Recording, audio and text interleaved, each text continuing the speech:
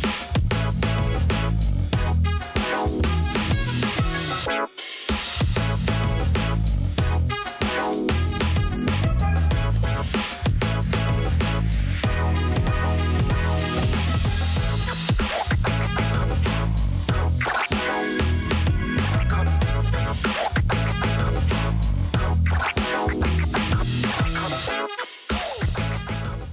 Den všem divákům svobodné internetové televize SVTV Info, kterou můžete sledovat i na vybraných kanálech, který běží v titulkách pod námi.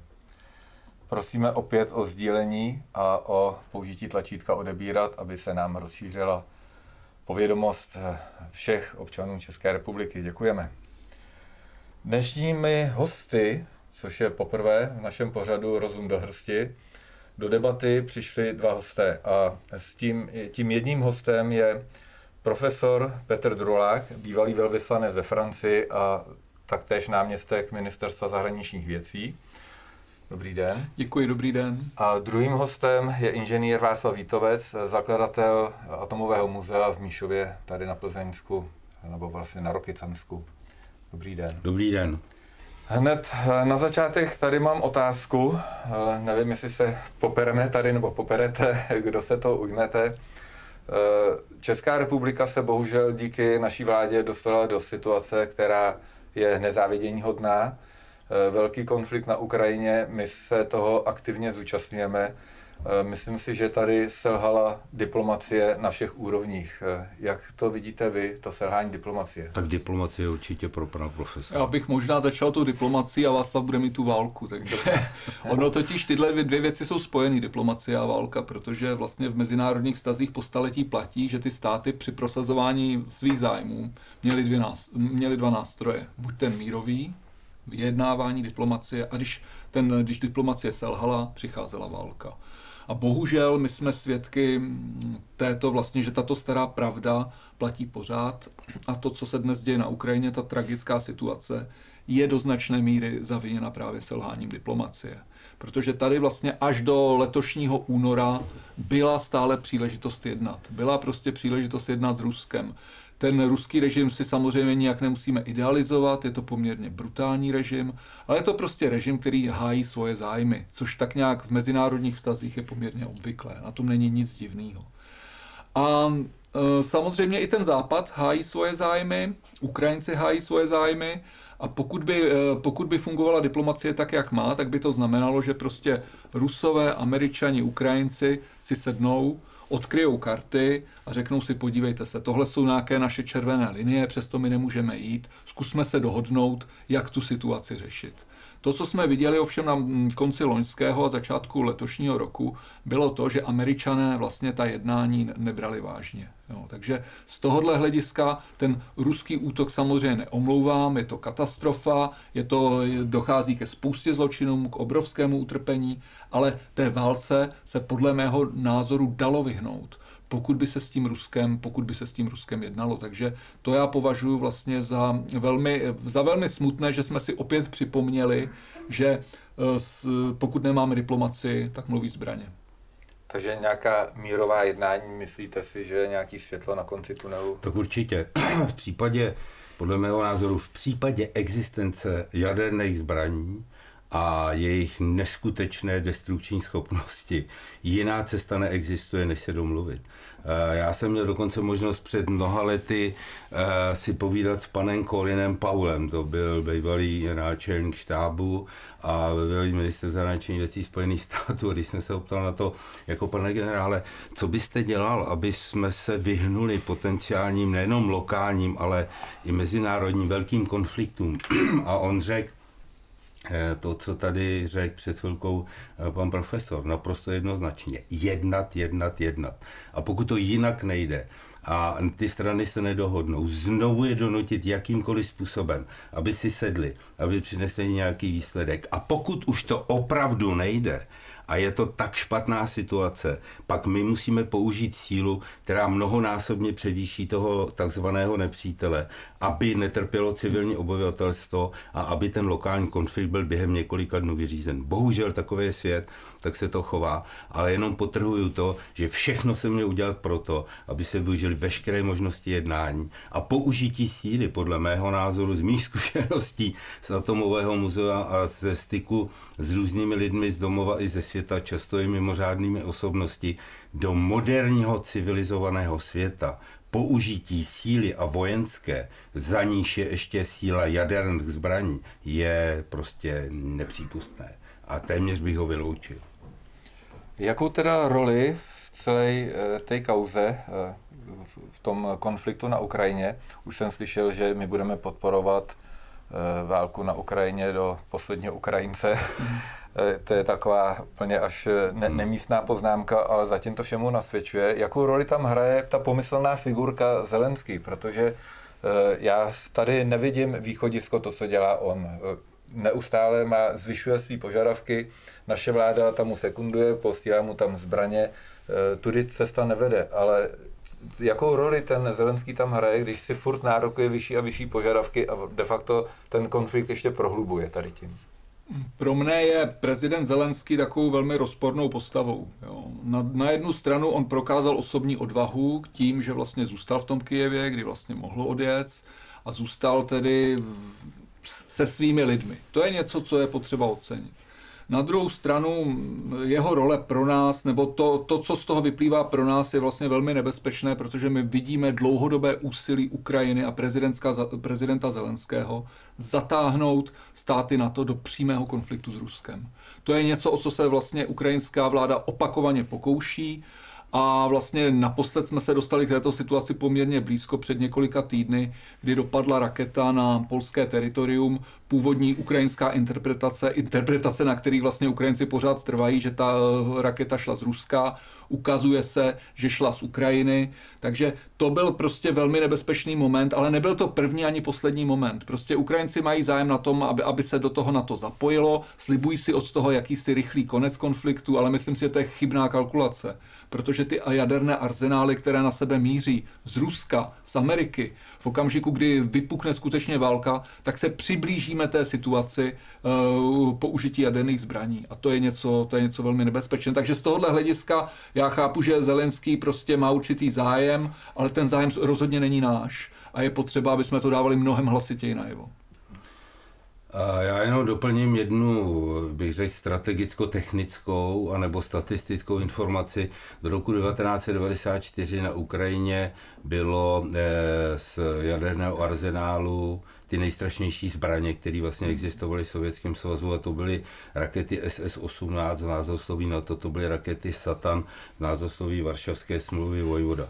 Na území Ukrajiny, tehdejší Ukrajiny, bylo 90 raket Satan. Jejich destrukční schopnost jedné rakety, protože v jejich hlavicích bylo 10 termovodíkovek, je 300 tisíc km čtverečních. Jedna raketa vyřadí území 300 tisíc km čtverečních, co jsou čtyři České republiky, hmm. na území Ukrajiny 90. Tehdy byla obrovská snaha ministra obrany Spojených států, to byl William Perry, a ruského ministra obrany, aby Ukrajina byla bez jaderných zbraní, což se v roce 95 definitivně podařilo. Dnes v podstatě jaderné zbraně v Evropě ve východní, bývalé východní Evropě neexistují, takže jsou až v Ruské federaci a na západě bohužel americké jaderné zbraně jsou v Německu, v Itálii, v Belgii, v Holandsku a vlastní jaderné zbraně vlastní e, Francie samozřejmě a Velká Británie. Použitelnost jaderných zbraní v konfliktu prakticky je, je vyloučena. Jaderné zbraně jsou nepoužitelné. Ty velké ráže mají destruční schopnost, která v podstatě vyřadí jakoukoliv eh, elektromagnetický přístroj, že jo, mobily, veškeré systémy automobilů by byly vyřazen. V podstatě použití jaderných zbraní by na, eh, konec. konec, v podstatě návrat do prvobytně pospolné společnosti, a v podstatě bychom začínali úplně znova. Ne, že lidstvo by se vyhubilo, to není pravda. Lidstvo přežije všechno, ale je to nepoužitelné. Takže jenom doplňuji, v současné době Ruská federace má kolem 6200 obecně kusu jaderné munice, to samé Spojené státy. 90% jaderného arzenálu je ve Spojených státech a v Rusku.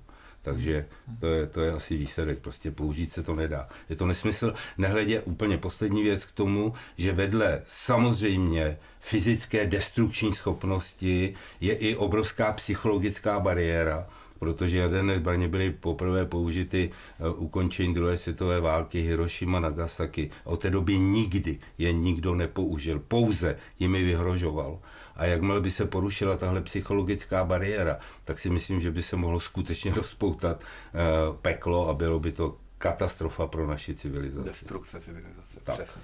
Takže chování e, pana Zelenského by se dalo nazvat, je to jenom jeho ego, je to jeho egoismus, to je složitější, to je složitější, protože my nesmíme sem. já myslím, že je chyba prostě říct Ukrajina rovná se Zelenský, prostě Zelenský je herec, on byl vždycky dobrý herec, do, do politiky, do té nejvyšší politiky vstupuje jako někdo, koho platí významný ukrajinský oligarcha Ihor Kolomojský, a i teď on je v podstatě někým, kdo zastupuje zájmy, které jsou trochu méně vidět. To znamená, jednak jsou to zájmy, jednak jsou to zájmy části Washingtonu, protože když se podíváte do USA v Americe jsou rozdělení, jo, tam to není úplně jednoznačný. Takže část určitě jednoznačně podporuje Zelenského, část trochu méně a samozřejmě i na té Ukrajině jsou určité zájmové skupiny. A Zelenský je jenom někdo, kdo prezentuje určité zájmové skupiny. Dělá to s tou svou hereckou dovedností, takže působí to, na někoho to v té televizi působí dobře, na mě to v těch posledních měsících působí spíše děsivě. Teda. Tam směřovala moje otázka původně, eh, jestli je teda, eh, je to jeho egoismus, anebo jestli je součástí nějaký hry, jakou roli v tom eh, konfliktu, a nejenom v tom konfliktu na Ukrajině, ale vůbec ve světě, v tom vojenském smyslu, hraje NATO a potažmo vlastně celý Spojené státy. Já tu roli považuji prostě za nešťastnou, protože my jsme na to považovali, nebo na to bylo považováno za nějakou záru, zá, záruku stability. Nicméně musíme si uvědomit, že skutečně jednou z příčin, a neříkám, že jedinou příčinou, ale jednou z příčin toho současného konfliktu je právě politika NATO. Prostě rozšiřování do prostor, hmm. o nichž Rusové říkají už asi 15 let že je to pro ně nepřijatelné, vojenská přítomnost NATO v této oblasti a že se budou bránit. A NATO v podstatě tyhle věci nebralo, nebralo v potaz, takže bohužel NATO nese část té odpovědnosti za, za tu situaci na Ukrajině a to je samozřejmě naprosto, naprosto převrácení toho, co na to mělo dělat. Na to tu bylo, mělo být proto, aby udržovalo stabilitu v, v, v Evropě a ve střední Evropě. A ono se naopak stalo součástí destabilizace. Je to, souča- je to bohužel součást nešťastné politiky Spojených států amerických, protože když říkáme NATO, říkáme Spojené státy americké a američané v tomhle sehráli vlastně velmi destruktivní roli v Evropě.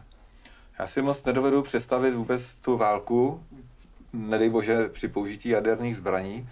Je jasné, že, ta, že ta eh, Evropská unie ze spolu se, se Spojenými státy, hlavně teda eh, s rolí NATO, budou mít jediný jeden cíl, a to je Rusko.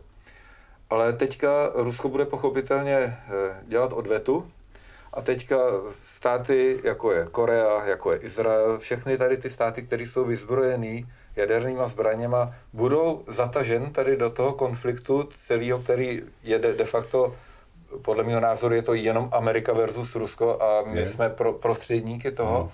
ale zapojí se do toho celý svět, anebo to, jak to, je, to vlastně bude s tou jader, to, případnou jadernou válkou? Tohle bych řekl, že je úplně zásadní otázka, kterou skutečně musí řešit a určitě se zabývají nejenom strategové, kteří rozhodují o budoucnosti e, téhle civilizace, ale i psychologové a další odbornosti.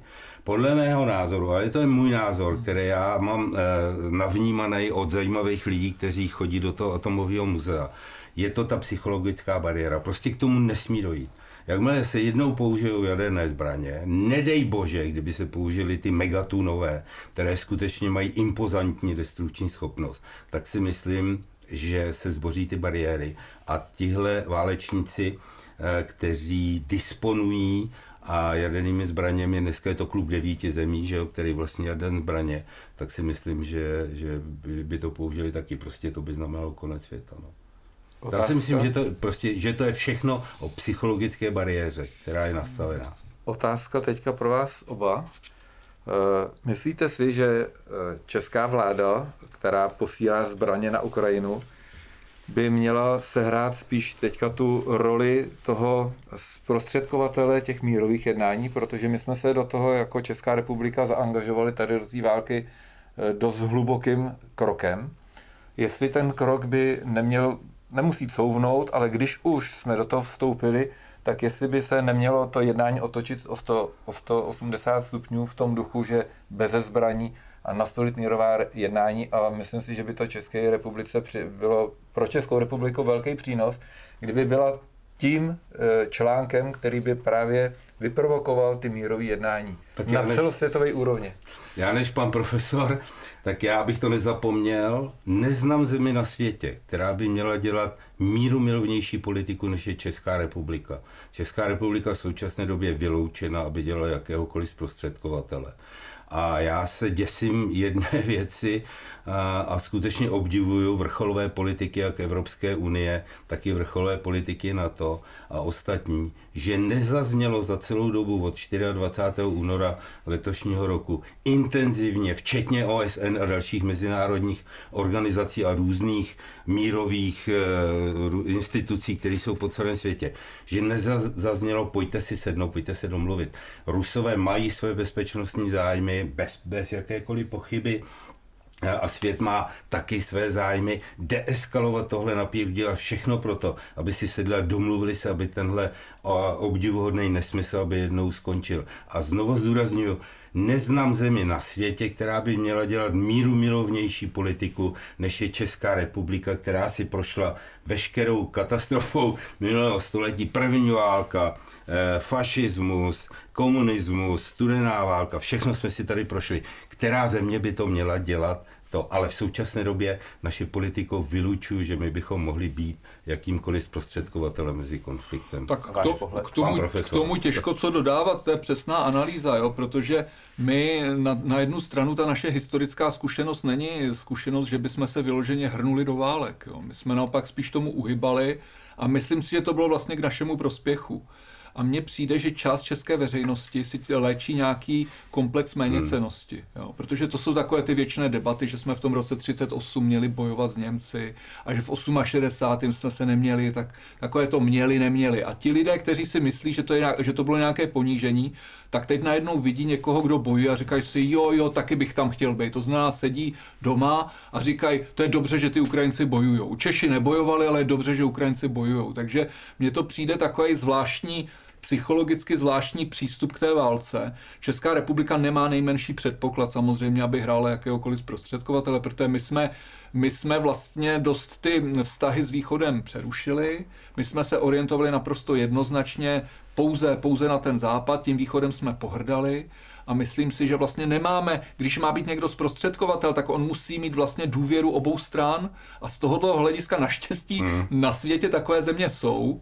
Vemte si třeba Turecko. Hraje vyloženě dneska roli někoho, eh, který dokáže velmi dobře mluvit jak s Kijevem, tak s Moskvou. A sem tam dokáže něco dohodnout. Něco takového umí taky Arabové. Jo? To znamená země zálivu. Tam jako, takže pokud budou zprostředkovatele, garantuju vám, že nebudou v Evropě. To znamená, ne, že nebudou v České republice, ale ani žádná jiná evropská země, dokonce i to Švýcarsko v tomhle konfliktu ztratilo svoji neutralitu. Jo, takže bude to, bude to prostě, mohou to být Turci, mohou to být Arabové a pokud pomohou řešení konfliktu, tak samozřejmě si zaslouží obrovský aplaus tyhle státy, protože ten konflikt je, je děsivý a je nebezpečný. Já jsem možná ještě trochu pesimističtější, protože i když je to samozřejmě ne, i když je to těžko představitelné, tak se bojím, že k tomu nakonec může dojít. Prostě nakonec může dojít k tomu použití těch jaderných zbraní. Ona to může být nějaká nehoda. Jo? To může být něco takového, že vlastně to nikdo ani úplně nechtěl. Jo? Prostě Ale druhá něk... strana už to tak uvidí. Prostě a jakmile to jednou se spustí, tak hrozí, že se spustí ten pekelný kolotoč, který skutečně povede k nějakému to jak, jak se říká, konci světa tak, jak ho známe, hmm. ale teď opravdu v tom, v tom nej, nejděsivějším slova smyslu. Jenom doplním, to mě inspirovala eh, tahle myšlenka, že to použití jaderných zbraní se skutečně může stát chybou. Za prvé je to obyčejná technika, je to strojařina, je to prostě fyzika, může se stát chyba. A ústřední potíž by byla v tom, že ta protistrana by si tu chybu mohla vyložit špatnou analytikou, yes. že bohužel byl vydaný rozkaz Jinak vydání rozkazu k použití jaderné zbraní vůbec není jednoduchá cesta. To nemůže dneska udělat jeden člověk, na to už je vypracovaný dokonalý systém, ale psychologicky znovu jsme u, u, u klíče. Rozhodnout o použití jaderných zbraní je podle mého soudu obrovská bariéra. Ten rozkaz vydat je bariéra, ale může se to stát skutečně chybou. To teda souhlasím a e, ty strany by si měly domluvit při, e, na tom, že chyby i chyby je třeba okamžitě telefonovat a okamžitě nasadit diplomaty, nasadit zpravodajské služby, aby ty lidi se dali dohromady a věděli o tom, že prostě ne. Jo. Takže to může být de facto zlomek okamžiku a všechno To je ústřední problém. Ano. To je ústřední problém. Dobře, myslíte si, že paní Černochová uh, si uvědomuje důsled, důsledek síly jaderné zbraně? Tak to je otázka přímo na mě. Odpověď je ne.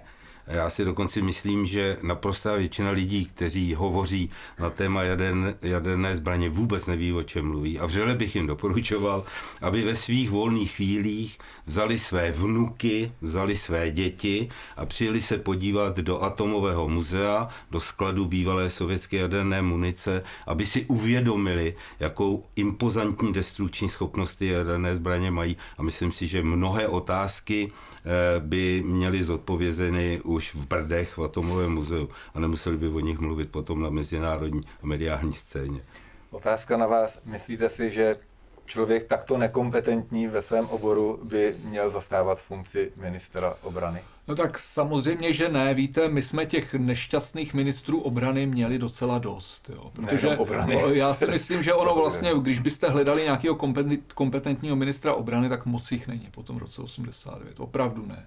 Ale to, co představuje paní Černochová, to je skutečně ještě, jak se říká, jiný level. Jo. To je prostě Uh, už uh, i, i ty rozhodnutí o té výzbroji, prostě ty F, F-35 místo Gripenu a potom samozřejmě ta retorika. Ta retorika, kterou vede a kterou vlastně, kterou tu situaci akorát eskaluje, ukazuje svoji nekompetentnost. Je to, ne, je, je, je to neštěstí. Je to neštěstí, ale ani nevím, jestli by ta muzea, ta návštěva to, a to muzea pomohla, ale rozhodně ji všem doporučuju. Teda. Takže jediná taková možná správná cesta eh, vlády České republiky ke konfliktu na Ukrajině je přestat aspoň teda vyzbrojovat Ukrajinu a Ideální by bylo, kdyby nedělali nic aspoň. Kdyby nedělali, nemůžeme čekat, že by dělali něco dobrýho, ale ať nedělají nic. To bude asi ten nejlepší krok. Pánové, já vám děkuji za návštěvu ve studiu. Doufám, že se opět neuvidíme naposled i v tomto složení. Myslím si, že jako první debata u nás se to asi zadařilo, že se to eh, divákům líbí. Takže se budu těšit příště. Pan inženýr Václav Vítovec, eh, pan profesor Petr Drulák. Děkujeme, nashledanou. Děkuji, nashledanou. Taky děkuji za pozvání.